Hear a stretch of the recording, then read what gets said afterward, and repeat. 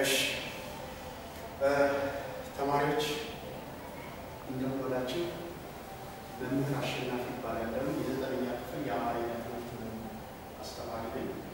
ዛሬ የምንመለከተው በምዕራፍ አራት ላይ ስለ ዘይቤ አይነቶች ተመልክተናል።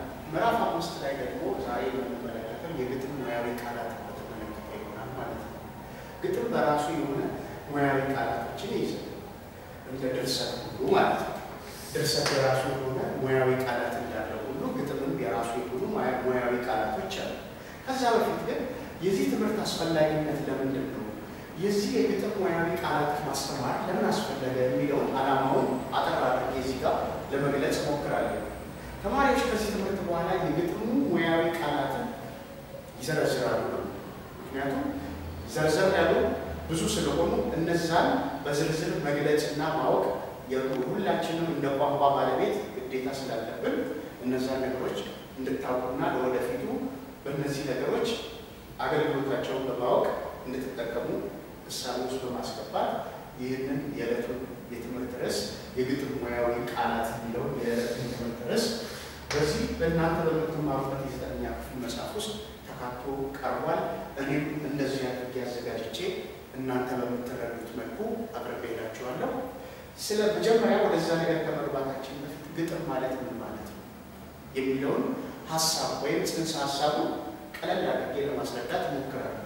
ግጥም ማለት ከዝርወ ወይም ከዚህ በፊት በነበረው በተለምዶ ስድ ብለን ከምንገልጸው አገላለጥ አሁን ዝርወ የሚል የተሻለ ስያሜ ስለተሰጠው በዛ ስያሜ መሰረት ከዝርወ ጽሑፍ የተለየ የራሱ የሆነ የአጻጻፍ ስርዓት ያለው ዜማ፣ ግጥም፣ ቤት መምታት፣ ቤት መድፋት የራሱ የሆነ ቅላጼ የያዘ ግጥም ይባላል። ግጥም ከዝርወ የሚለይበት አንድ የራሱ የሆነ መንገድ ነው። ዝርወ ጽሑፍ ለሰዋስወ ስርዓት የአማርኛ ቋንቋ ወይም የማንኛውም ቋንቋ ሰዋስወ ሰዋስወ ማለት በእንግሊዝኛው ግራማር በአማርኛው ደግሞ መዋቅር ወይም ሰዋስወ የምንለው ነው። በዚህ ስርዓት ውስጥ ተገዥዎች የሆኑ ነገሮች አሉ። ግጥም ግን ለእነዚህ ስርዓቶች ተገዥ አይደለም። ምክንያቱም የራሱ የሆነ ስርዓት ተከትሎ የሚገለጽ ወይም የሚጻፍ ስለሆነ። በሰዋስወ ስርዓት ግን የሚገዙ ነገሮች ለምሳሌ አንድ ሰው አንድ አረፍተ ነገር ቢሰራ አረፍተ ነገሩ ግስ መያዝ አለበት። ያ ግስ በአረፍተ ነገር ውስጥ ካልተካተተ ይህ አረፍተ ነገር ሙሉ ነው ማለት አይቻልም። ምክንያቱም ለሰዋስወ ስርዓት አልተገዛም ማለት ነው። በግጥም ውስጥ ግን እንደዚህ አይነት ስርዓት የሚያስገድደው ምንም አይነት መንገድ ስለሌለ ግጥም የራሱን መንገድ ተከትሎ የሚቀርብ ወይም የሚጻፍ የራሱ የሆነ ስልት ያለው የጽሁፍ ዘርፍ ነው። ስለዚህ ግጥም ማለት ምን ማለት እንደሆነ በዚህ መልክ ከተረዳችሁ፣ በግጥም ውስጥ ደግሞ ግጥምን ግጥም እንዲሆን ካደረጉት ነገሮች እያንዳንዳቸው የራሳቸው የሆነ ክፍሎች አላቸው። ለምሳሌ እንመለከት። ግጥም ውስጥ ሀረግ ሀረግ አንደኛው የግጥም ሙያዊ ቃል ሀረግ ማለት ምን ማለት ነው? ሀረግ ማለት በአንድ ትንፋሽ የሚነበብ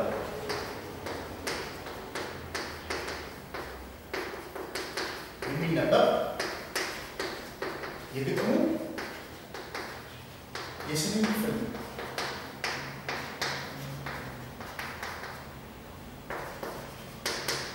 ይሄ አንዱ የግጥም ሙያዊ ቃል ከሆኑት አንዱ ሲሆን ማለት በዚህ አይነት መንገድ የተገለጸ ነው።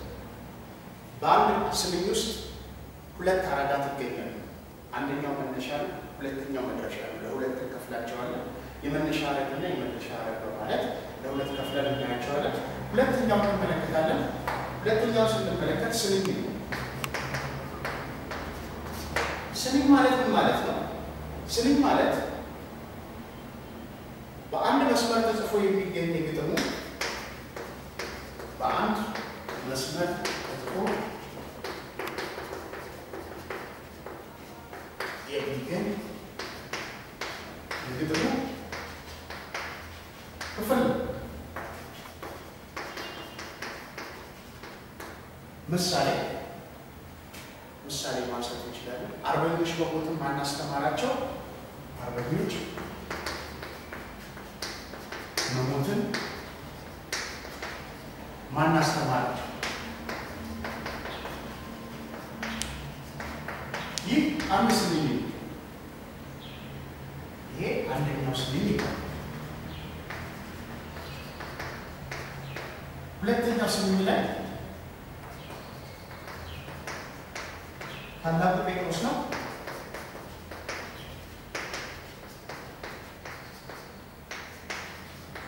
ባርኮ የሰጣቸው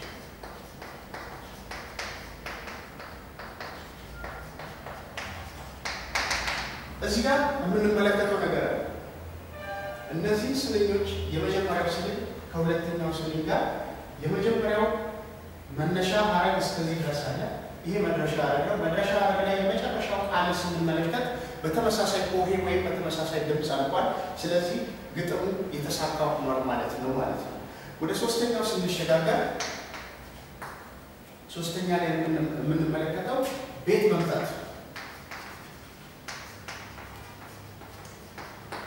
አሁንም ቤት መምታት ማለት ምን ማለት ነው የሚለውን አንድ ስንኝ በምጣኔ ተለክቶ አንድ ስንኝ በምጣኔ ተለክቶ አንድ ስንኝ በምጣኔ ተለክቶ ሲጨርስ ቤት መታ ይባላል።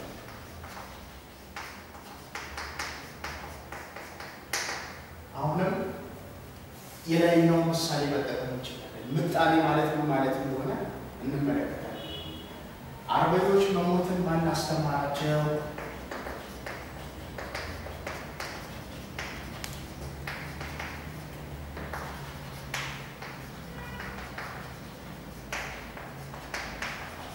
ይህ አሁን የተመጠነ ነው ማለት ነው። ምክንያቱም በዚህ ስንኝ ውስጥ ሁለት ክፍሎች አሉ።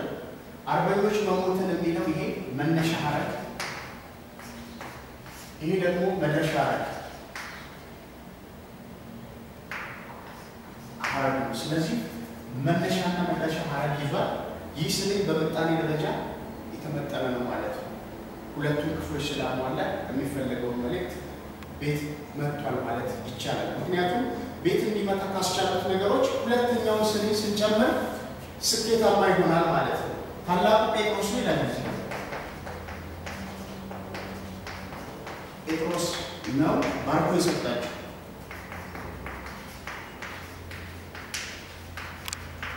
ስለዚህ በተመሳሳይ ሆሄ ው ው እዛ ጋር በተመሳሳይ ድምፅ ቸው ቸው ቸው ቸው። ስለዚህ ይህ ከምጣኔ አንጻር የምንመለከተው ቤት መጥቷል ወደሚለው ስንኝ እንሸጋገራለን ማለት ነው። ሌላው የምንሸጋገረው ቤት ደፋት፣ ቤት መድፋት።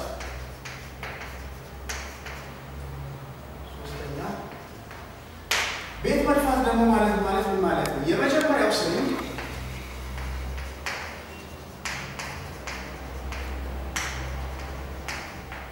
ስንኝ ከቀጣዩ ስንኝ ጋር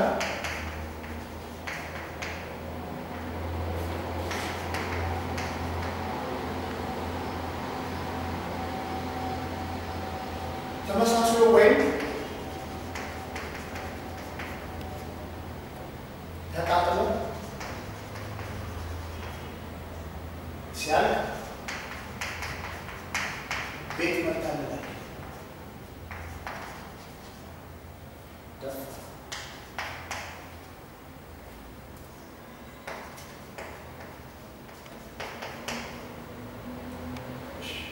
ስለዚህ ይህንን ምሳሌ ማሳየት ከተፈለገ አሁንም ይህንን የመጀመሪያ ላይ እዚህ ላይ የተጠቀምነው ምሳሌ ማሳየት እንችላለን።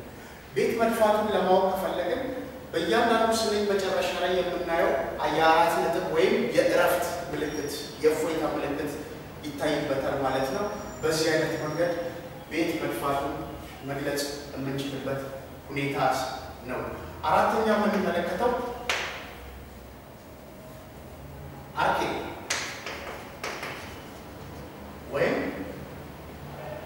የምንለው በአንድ አይነት የተደረደሩ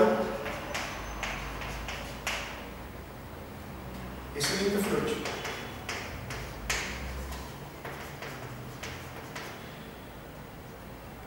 ሰብሰብ ተደርገው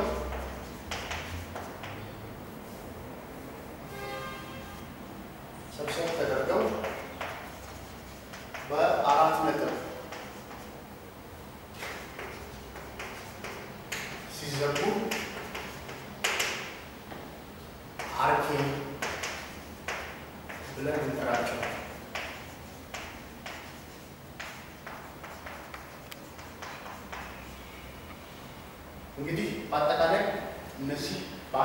ግጥም ውስጥ የምናገኛቸው የግጥም ሙያዊ ቃላት የሚባሉ ናቸው።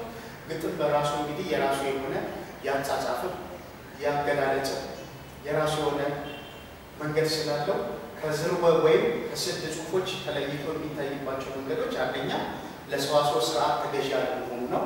ሁለተኛው ነገር ደግሞ በሚነበብበት ሰዓት ድምፀት አለው። ድምፀቱ በቅላጼ በዜማ የታጀበ ነው ማለት ነው። ስለዚህ በዚህ አይነት መንገድ ግጥምን ለይተን ካወቅን በግጥም ውስጥ ደግሞ ያሉ ሙያዊ ቃላት ከአንድ እስከ አራት ድረስ የተዘረዘሩትን ከተመለከትን አንድ ግጥም ግጥም የሚያሰኘው ምን ምን ነገሮችን ሲይዝ ነው? እነዚህ ሙያዊ ቃላት በአንድ ግጥም ውስጥ ከሌሉ ይህ ግጥም ትክክለኛ ግጥም ነው ወይም ማሟላት የሚገባውን ነገር አሟልቷል ማለት አይቻልም። አንድ ግጥም ውስጥ ሀረግ መኖር አለበት፣ ስኒ መኖር አለበት፣ ግጥሞቹ ቤት መምታት አለባቸው።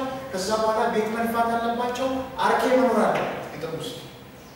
በስተመጨረሻ ላይ አምስተኛ ላይ የማስተላለፍላችሁ መልዕክት ምንድን ነው? ቤት ፈረሰ ይባላል። ቤት ፈረሰ ይባላል። ቤት ፈረሰ ማለት ምን ማለት ነው? አንድ ግጥም የመጀመሪያው ስንኝ ከሚቀጥለው ስንኝ ጋር በተመሳሳይ ሆሄና በተመሳሳይ ድምፅ ማለት ካልቻለ ቤቱ ፈርሷል ወይም ግጥሙ ስኬታማ አይደለም አንድ ግጥም በተመሳሳይ ሆሄ ወይም ድምፅ ማለቅ ሳይችል ሲቀር ሲቀርና በምጣኔ ደረጃ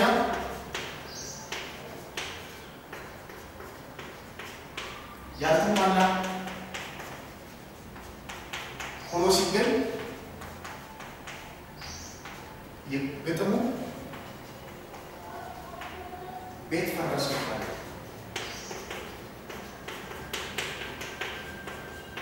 ወይም ያልተሳካ ግጥም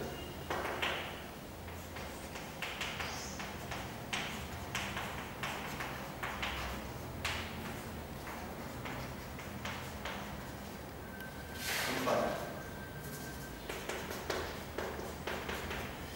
ምሳሌ መስጠት ይቻላል። ምሳሌ እንመልከት። እዛ ማዶ ላይ አላለ አንድ ጀማሪ ገጣሚ ነው። እዛ ማዶ ላይ ምን ያብለጨልጫል?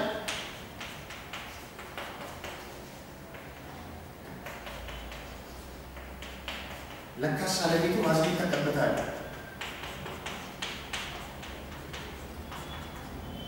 ቫዝሊን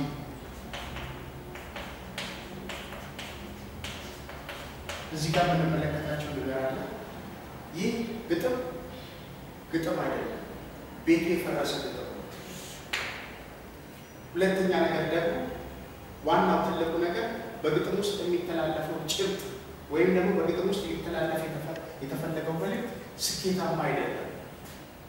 ከምጣኔ ደረጃም ስናየው በምጣኔ ደረጃ ግጥሙ እየተመጠነ እንዳልሆነ የሚያሳዩ ምልክት ስለሆነች ስለሆነ ቤቱ የፈረሰ ግጥም ወይም ያልተመጠነ ግጥም ያልተመጠነ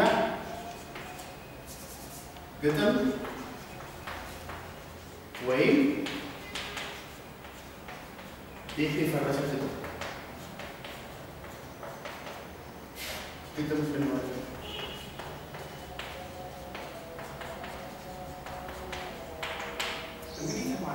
እንግዲህ ተማሪዎች የዛሬው የዕለቱ